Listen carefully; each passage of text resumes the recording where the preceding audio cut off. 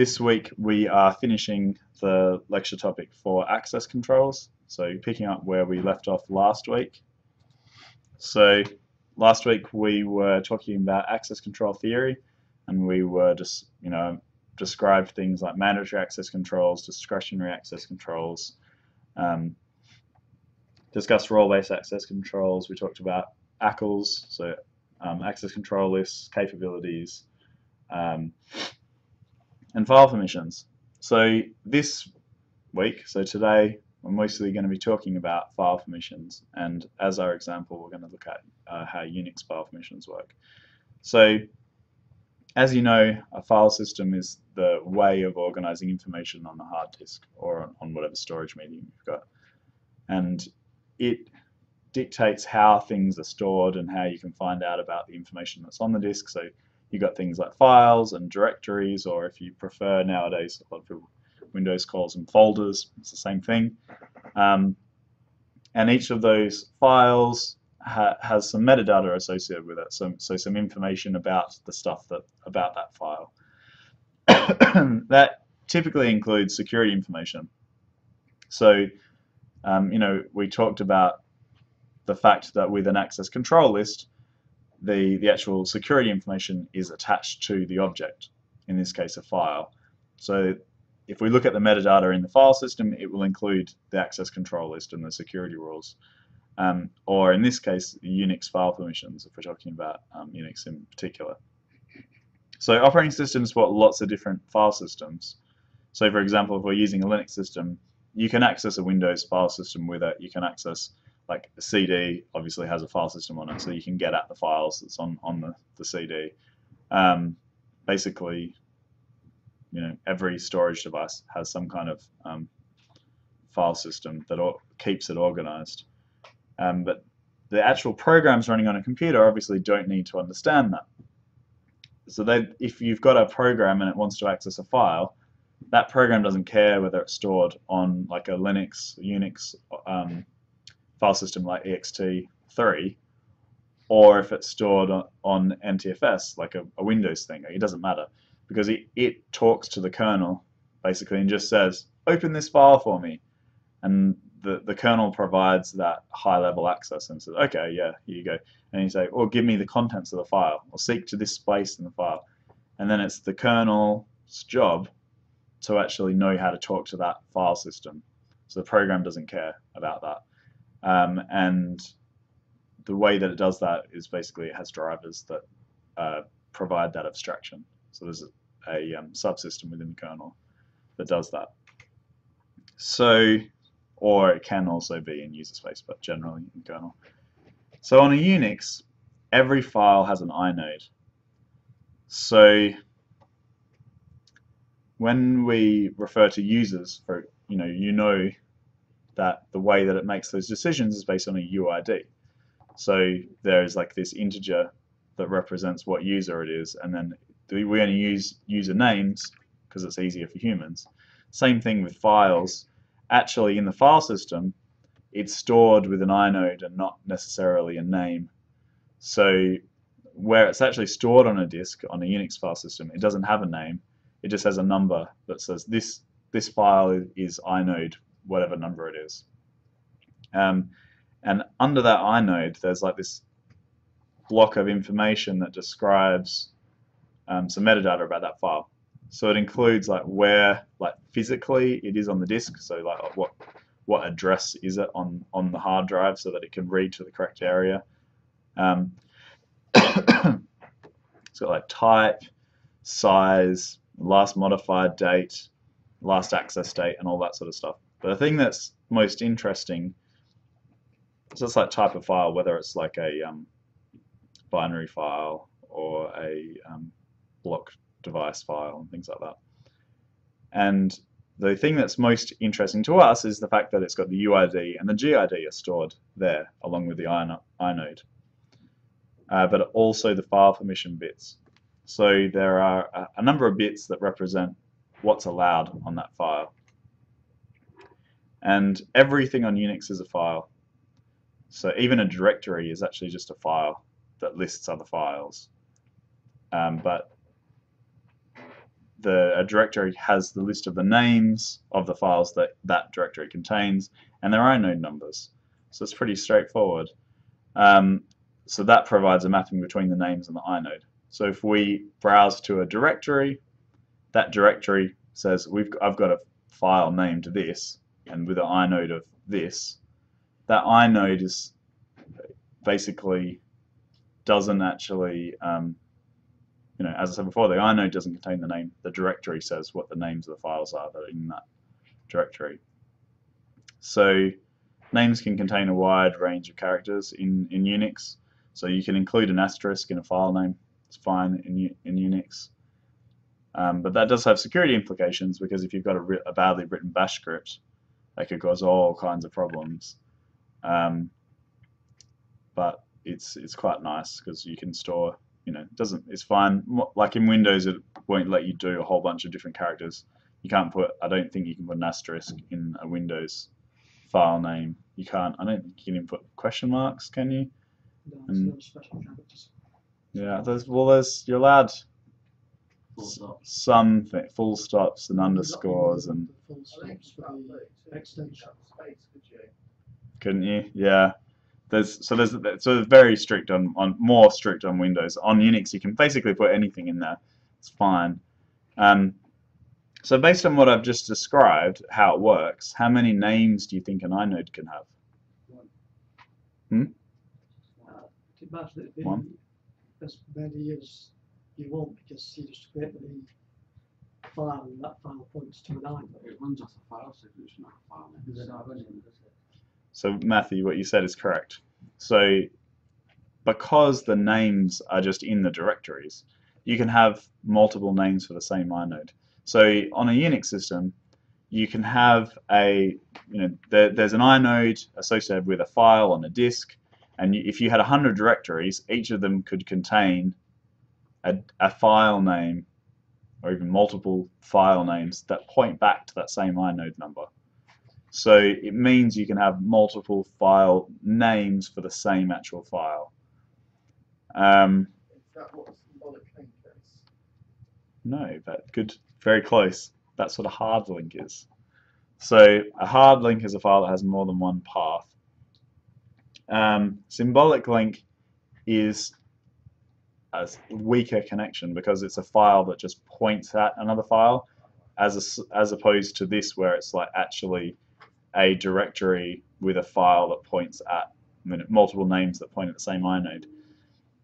The diff the main difference is with a symbolic link, you can't have um, a symbolic sim. You can't have a hard link to a file on a different file system. So you couldn't have a. Um, so they've got two USB devices. Plug them both into the same computer. You can't have one a file on one USB device that is actually the inode number for something on the other USB device, but you can have a symbolic link that points to something on a separate USB. And obviously, if you unplug it, your symbolic link's no longer going to work, but you're not allowed to have a hard link that does that. Um, so the way it works if you go to delete a file is it simply um, decrements a counter that says how many names there are pointing at this inode. And if that, that counter hits zero, then it really is deleted properly. But until it hits zero, it's just like, well, I've got one less name that points at that file. And obviously, this is important to understand if we're talking about security because the name is just one way of accessing that file. So the way that um, access controls work on Unix is a simplified version of access control list. So remember last week I was talking about an access control list where you can say, well, this file can have be accessed by this user, you know, with read permission. This other user with read write permission. Um, this other user just by um, being able to uh, append to the file without deleting it. But what um, Unix file permissions do, it simplifies all that into just three groups. So we've got rules about what the owner of the file can do. So that's the person who created the file or has, has current ownership. Anyone who's in the group that's associated with the file. So you can have a group of people that it can access a file and they have a separate set of permissions and everyone else. So you can't say, Bob or Tom gets like read access, but you can say the user that he's in has this amount of access, or everyone else has this amount of access. So it really simplifies things. So there's just like three groups of people of users. Quickly, because how do you um, set a files group? Uh, it's just a command to set set the group. Yeah, that's um, yeah, it's just a command. So the the ls command can display permissions, um, and there's a there's a, a bunch of information there. So I've just opened up because I'm on a Windows computer here because I don't really have a choice. Um, but I've, there's this online terminal, um, which is actually kind of cool because it's uh, it's a emulated PC running on JavaScript.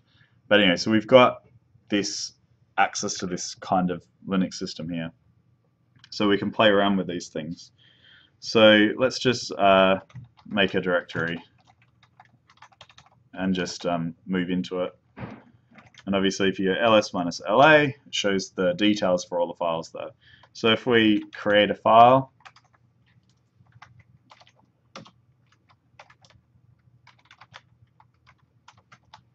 we uh, look at, at the details for that file, these this describes the file permissions for that file. And actually we can do something else. We could do uh, dash i, which lists the inode number. So the, the inode number for this file is 265. Um, so, uh, so yeah, going back to this, looking at the file permissions, this describes the permissions. Uh, so it's quite simple. There's, this is the permissions for um, everyone else. This is the permissions for the group, and this is the permissions for the owner. And we can see here that the owner of the file is root, and the group for the file is root. So in this case, the root uh, user owns the file, so they get to read and write the file.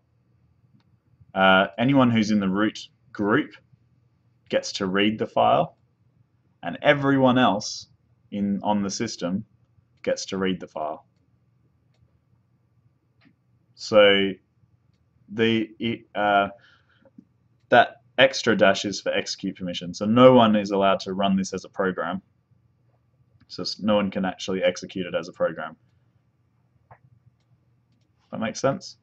It's the far left dash, is that the one that says it's a directory or? This first dash represents the type of file it is, yeah.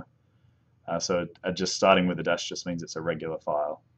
So it's a regular file, and these are the permissions for it. Um, yeah, so you can see these examples here are directories because it's got the first one is a D. Um, so I'll just explain some stuff and then I'll go back to the slide to see whether I've forgotten to describe any of the things that, that's on the slide. So the way that you, um, actually I think it'll be more visual if you can see the slide. So you can see, uh, I think I just explained all that stuff. Um, oh yeah, the one thing I meant, forgot to mention, that first number after the permissions is actually how many hard links there are. So how many links there are to that particular inode. And there's the file is described, and also the last um, modified time. Um, do you think you can trust the timestamps that are on a file always? No. Why not? Because Linux. uh, it's no different on Linux or Windows, the answer to this question. Yeah, they can be modified. Right. No, even the system time can be modified. So The touch command can modify the file. Sorry? The touch command modify the file? Yes. So yeah, so you can update these times. Um, like at last access time, obviously you can easily change just by accessing the file uh, to to do be the current time. But if you've got root access to a system, you can typically write directly to the hard disk. Uh, and if you can do that, then you can bypass um, the file system, like the the access control checks, and basically you can just change all the dates. Is not a problem. So once someone has root access to your systems, you can't necessarily trust the dates that are there. But as you know, because you you all study forensics as well, uh, there's vitally important information. If you are like investigating a crime, uh, you will often look at this information, but just always remember in the back of your mind, it is possible that it's being tampered with. Okay, so if there's an R listed, it means that you can read the contents of the file. If there's a W listed, you can change the contents of the file. If there's an X listed, we can execute the file as a process. uh, if it's an executable file, the first few bytes that are in that file describes what type of executable it is. Um, and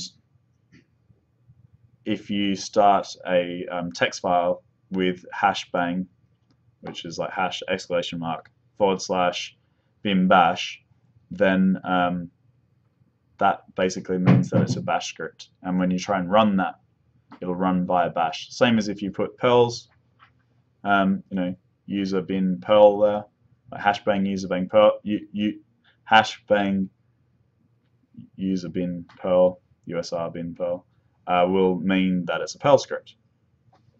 So if it's a directory, the permissions mean slightly different things.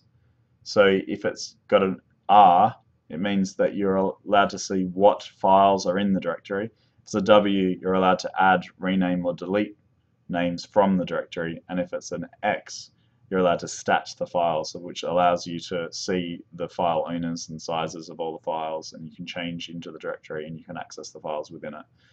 Um, so it, it, seems a bit strange at first, but after you played around with this a bit, you'll you know get used to that.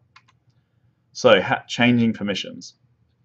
So to change permissions on a on a Linux system, you can use a chmod command, and we can use that to set the permissions either based on octal values so you know I said that they're based on basically a number of bits that represent those file permissions. We can just specify that exactly. So it's like um, absolute, this is the file permissions I want. Or you can do relative changes, like just make changes to what's there. So it's quite easy. Uh, so the octal represents each of those bits, or those three bits, represents read, write, and execute. So if you've got 111, That'll be for read write execute permission, and that will give us 7 if we convert that to a decimal number. It's really easy if you just remember it this way. If you want to be able to read, you add 4. If you want to be able to write, you add 2. And if you want to execute, you add 1. You just add those numbers together. Simple as that. So if you just want to be able to read and execute, it's 4 plus 1, which is 5. Yeah. So uh, let's have a look at a few examples. So, uh, okay. So, if I wanted to change permission, I'll just start with an example. 777, test 1. What file permissions is this going to give? Yeah, for everyone. So we can see here that's for everyone. Because everyone, the owner gets read write execute, the group gets read write execute, and everyone else gets read write execute. So let's just do maybe one or two more examples. Um, how would we set it so that the um, the user gets everything and everyone else gets nothing? Uh, one zero zero, seven zero zero. Everyone Anyone disagree with that? Yeah, that's correct. So we can see here everything for um, the owner, nothing for anyone else. All right, what if we wanted to give um, the owner uh, read write permission and everyone else read permission? So back to where how we started. five. Anyone happy? Everyone happy with that? That's correct. So um, yeah, so I think you've got the hang of it. So basically, you just add those numbers together, and that gives you the the correct number to set it to. Um, so the other way that you can set permissions is to do relative changes. So if you do um, chmod u plus x, then that's basically saying that the user or the owner of the file gets execute permission. Uh, and you can do things like other, so O minus W means other users can not not write. So it's adding and subtracting rather than having absolute values. So let's have a look at this. So uh, we could say um,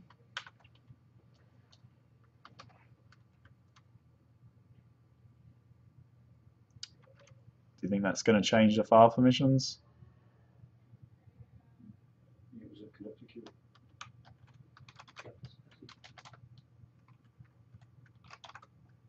Ah, hang on. Was our previous goal was to set read write access, and we ended up with read execute access.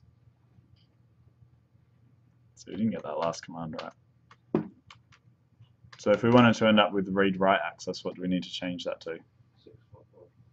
Six four four. Look, that's correct. So if we wanted to add the ability to um,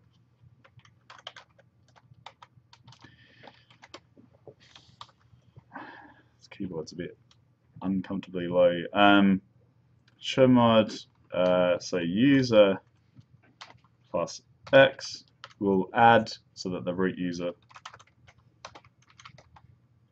can now execute it. And obviously you could do the same thing for other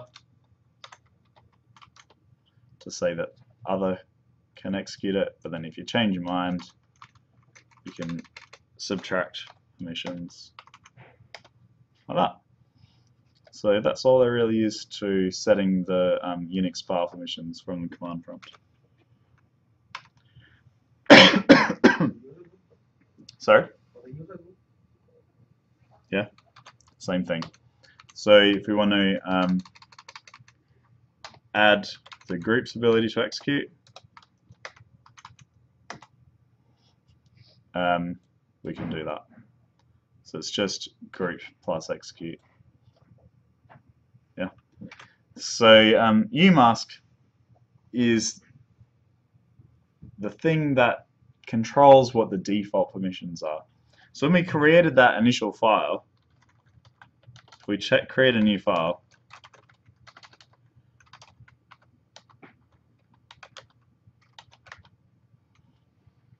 this this is the default permissions. So the question is, how does it? How do we configure what those um, permissions are? And the, the answer is umask. The umask value is the thing that determines what files start, the permission that files start with or when they're created. And so the user file creation mode mask, the umask, um, every process has a umask, which is uh, an octal that determines permissions of newly created files. So it strips permissions from the default 666 from for files or 777 for executables. So a, a umask of 000 would result in files with permission 666. So a umask of 022 gives us 644. So it just subtracts away from those from those values, right? So we if it, we start with 666, if we wanted to um, ba- basically stay with 666, then we'd put a umask of 000. Um, Is it possible to have it default to 777? That to execute as well. Uh, no. Um, don't think so. So we'll ignore the fact that there's a little that's not quite typed up correctly.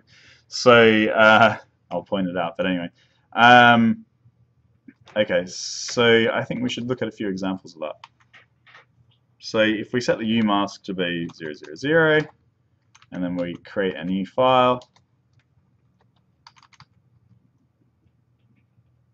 and we look at the files that are there, we can see that this new file ends up with 666.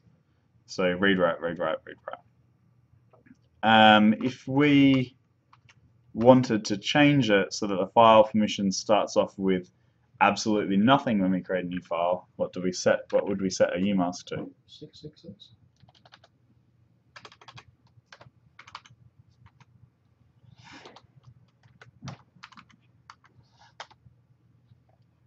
That is correct.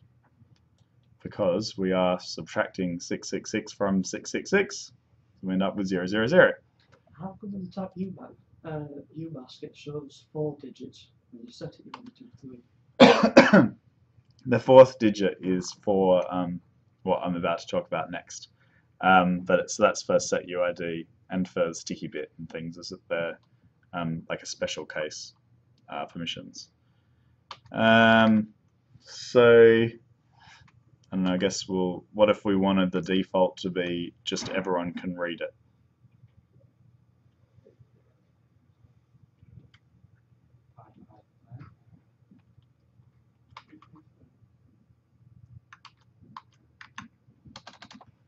So let's try 555. Ah, sorry, need to create a new file. So we ended up with right, right, right. So not quite, because if you got six minus um, what was it, five, then we end, we end up with one, which if we remember, it's back to here, uh, we end up with uh, um, If you want them all to read it would be two two two. sorry, So if the, for all of them reading would it be two two two? Because they end up with four four four four four.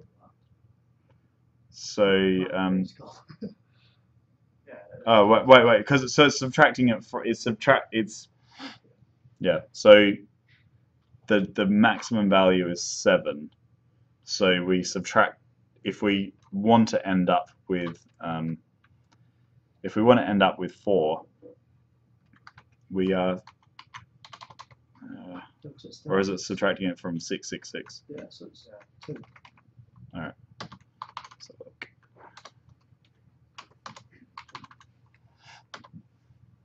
yes correct Who wrote this seems bizarre. it seems bizarre did you say Yeah. Yeah. It could be more simple. uh, yeah, I mean, I guess it could be more simple, but um, this is this has been around since the days of Unix, so it's been around since the um, 60s or 70s. So this is the way that it works. So we have um, so that affects the the creation of new files. Um, and I think that's that should be fairly clear now. So your question was about well what are those other digits for? Because there's like an extra zero there in that umask that we haven't mentioned. Um, that is to do with set uid because sometimes a user needs to be able to do something um, that they shouldn't normally be able to do. They need some permissions that they don't shouldn't have access to basically.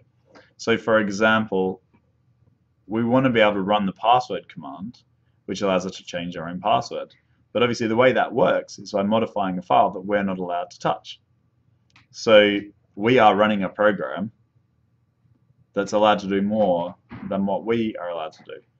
The way that that works on a Unix system is by using setuid. Because obviously in order to change our password we need to be able to change the etc slash shadow file. But obviously we shouldn't be allowed to change anything in that file like we could change other users' passwords, for example, if we could access the file. So that program gets to run with elevated privileges, and we're interacting with a program that's allowed to do more than what we're allowed to do. So another example is the ping command. So the ping command um, needs raw network access. So again, it's not something that everyone should be allowed to do. So I shouldn't just be able to craft any packet, for example. Usually I need to go via the operating system and it will um, define the kinds of interactions that I'm allowed to have in terms of networking. So on Unix, you're not allowed to have a server that is on a port number less than 1024 unless you're root, for example. If you could have root, if you had raw access to the network, then you could basically ignore all of those rules. Um, so again, the answer is set UID. So the ping program usually runs with set UID permission, so it gets extra permissions.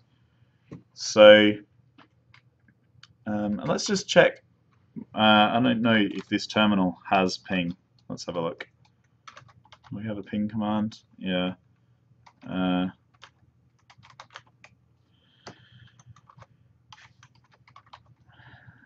let's have a look. Uh, so, okay. This doesn't do it this, that way, but this is a not a normal Linux system. Um, I guess we could look at. Um,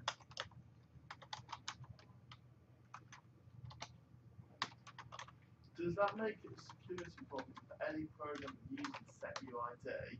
it is a yeah. So you can see here that actually BusyBox.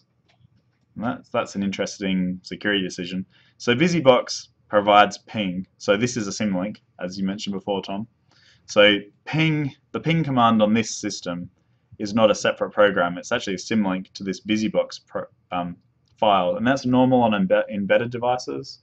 Like if you've got a Raspberry Pi or something and you want a really small version of Linux, you have like this one program that provides all these separate program, which is normally separate programs on a Linux system like cat and ls and all this. They're probably all just pointing at this one program, BusyBox, and depending on which symlink you're using to execute it, it behaves differently. But you can see here that BusyBox is actually running with setuid, which means if there's like a programming problem in any of any of that program, we could end up with root access, um, which I'll, I'll explain now. So every time a process is running, it actually has multiple identities. So kind of a bit schizophrenic. Um, the program has its own real user ID, so real UID, and that's the user who's actually running the command, so the person who started it. We've also got the effective UID, so that's the way the process is treated, so the, the way that the security decisions are made. Um, so let, us have a look. So if th this command here, ps minus e o r user comma, comma e user comma command is going to print out a process list with real user, effective user, and the command that's run. Uh, so let's have a look. Uh,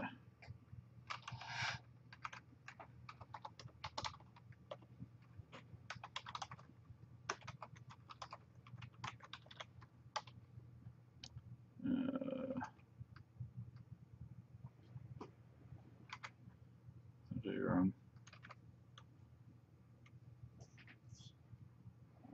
Right, it's this specific version of PS is not doesn't have that feature because again this is like a very stripped down version of Linux.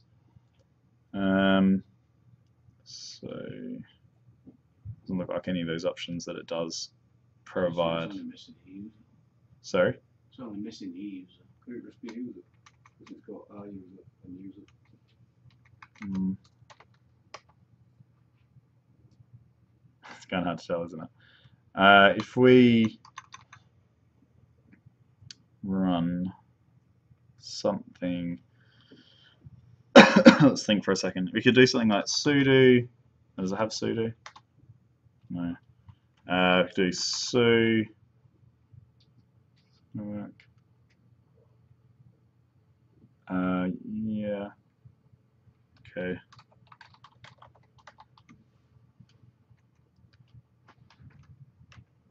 that buzzing? Uh, so we do something like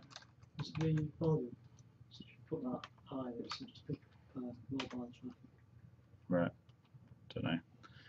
Uh, so if we um, do this, So if you do the password command, it's going to basically sit there waiting for us to type password in. What I want to do is have that running in the background, so I put an ampersand there. So now that's actually running in the background. And now if we run that same command again, as long as it lets us do that from um, normal user. So our user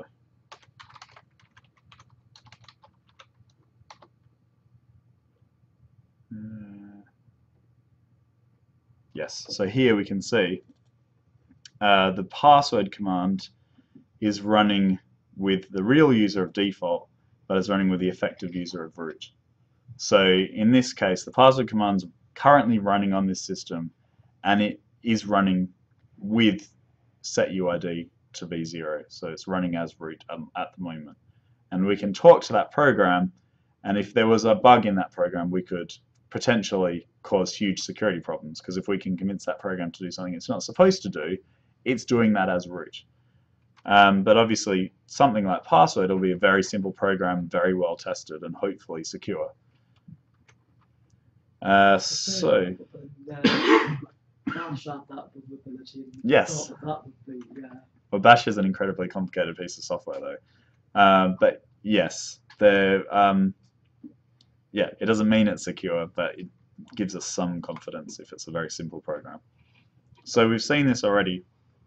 Is this uh, S symbol uh, instead of the X, which means that it runs without permission. So on this example, on the slide, we've got um, looking at the permissions for the password command, and it gets setuid, and then in order to see what actual user identity it gets when it's running, you look here at the user that owns that file, so it's root. So when that program starts, it runs with root's permissions. It doesn't have to be root.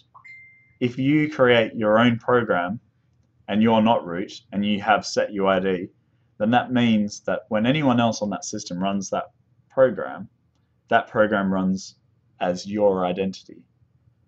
So, for example, if you had some secret file, but you didn't want to give access to the entire file, but you wanted to restrict access, access to that database or something, you could provide a program that runs with setuid to your identity and set the permission so that everyone on that shared computer gets to run it. When they execute that file, it will then just give them access to parts of the database that they're allowed to access, for example. You can do those sorts of things. So that is the standard way that Unix does security. We've talked about pretty much all the um, file permissions and how they work on a, a Unix system. Um, modern Linux systems have a whole bunch of other security features on them. Um, and that includes a more complete and therefore more complicated ACL support. So it does have support for access control lists where you can say this user gets read access, this user gets write access, but it's like an extra layer on top of the standard permissions. So if you don't set an access control list, it uses that Unix way of doing things. But if you really want an access control list, you can have it if your version of Linux is compiled with that feature in it and you're using a file system that supports ACLs. Um, I've already checked and this terminal doesn't support it. So this version of Linux that I've got here, so I can't demonstrate it here.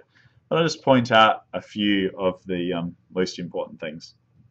So there's a command called setfacl, so set file access control list, and if you use the dash m argument, that says you're going to modify the access control list, and then it looks a bit like this. So user, and that's the username, so test or Bob or whatever, and then R, so what access you want to give, and then for the actual file that you're trying to grant access to. So it's as straightforward as that. If you want to give a specific user permission, uh, that's how you do it. And then once you've done that, if you do ls minus la, and you get that file listing, it, there's an extra little plus symbol there. So if you ever see that, it means that there's a, an access control list for that file. If there's no plus symbol there, we're just dealing with the normal Unix file permissions.